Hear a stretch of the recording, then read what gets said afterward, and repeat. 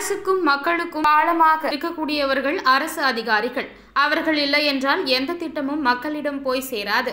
மக்களுடன் முதல்வர் திட்டத்தின் கீழ் ஒன்பது ஊராட்சிகளில் தொடங்கி வைத்த அமைச்சர் வேலு பேச்சு. அப்படிப்பட்ட திட்டங்கள் மக்களுக்கு வந்து சேர வேண்டும் என்று சொன்னால் அரசுக்கு உறுதுணையாக செயலாற்றுபவர்கள் அரசு அதிகாரிகள்.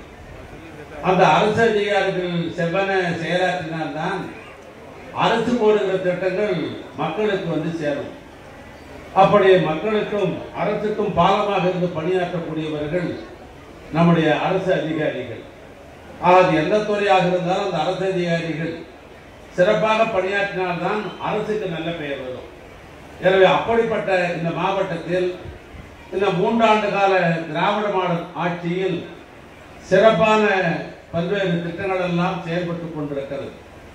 அதைத்தான் இங்கே முன்னிலை பொறுப்பேற்ற நம்முடைய சட்டப்பேரவை உறுப்பினர் கார்த்திகேயன் இங்கே குறிப்பிட்டார்கள் இந்த மூன்றாண்டு கால திராவிட மாடல் ஆட்சியில் மாவட்ட ஆட்சித்தருடைய தலைமையிலே ஒரு ஒரு கிராமத்திற்கும் சென்று நானே மக்களிடத்திலே மனுக்கள் பெறுவது என்ற ஒரு திட்டத்தை தமிழ்நாட்டில் எந்த மாவட்டத்திலும் இல்லாத பொழுது நம்முடைய கள்ளக்குறிச்சி மாவட்டத்தில் தான் மக்களும் தேடி மனுக்கள் என்கிற ஒரு அற்புதமான திட்டத்தை நான் தொடங்கி வைத்தேன். அதன் மூலமாக மனுக்கள் எல்லாம் பெறப்பட்டது.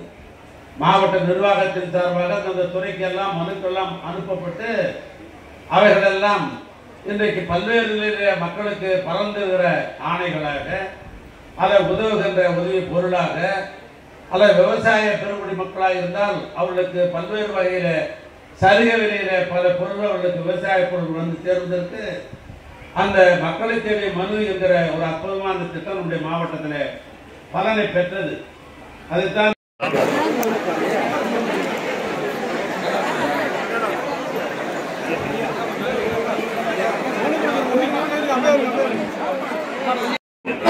நிற்க போறீங்க போங்க.